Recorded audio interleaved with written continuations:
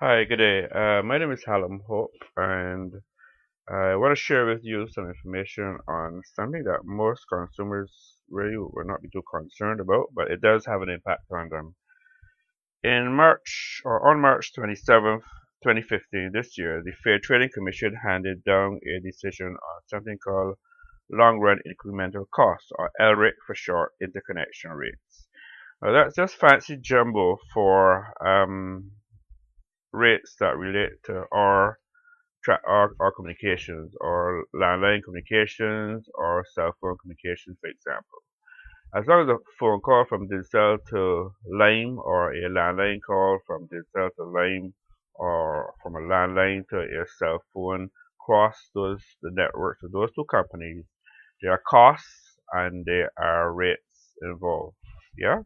So what this means is that um, from time to time, the commission has a consultation and it arrives at rates, um, and then the service parties, and in this case, Caritel, um, yours truly, Hallam Hope, would have a look at them and give us our thoughts, give them our thoughts, and and and, and see what they would actually come up with.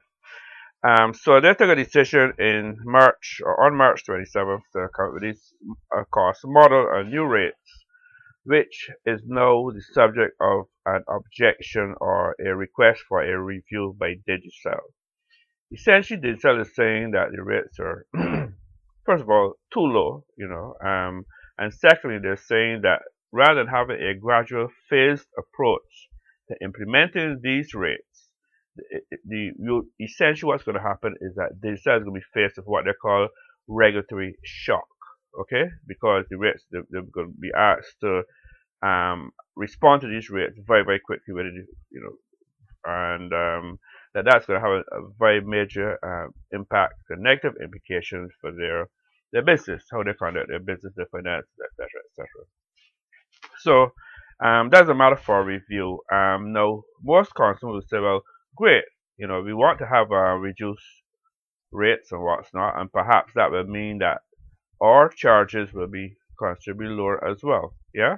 So that's one way of looking at it. But the other way of looking at it is that to the extent that this uh, decision could have a negative impact on Digicel, then Digicel could well argue, well, you know, it's not only going to have a negative impact on us, the company, but it also has implication for our delivery of service and even the pricing and, and, and competitiveness and that sort of thing. So if I was a Digicel lawyer, I would probably argue along those lines. So it does have an impact for us as consumers.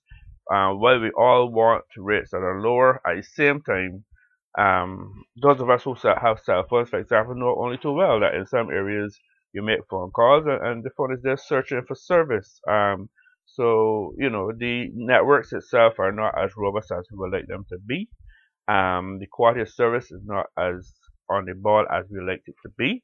And therefore a decision like this as um, you know as as confused as it may seem to the ordinary person does has have implications for us the ordinary citizen so I just wanted to raise that point with you because uh, this decision the details and a lot of the arguments are unknown to the ordinary public. They're unknown to the media.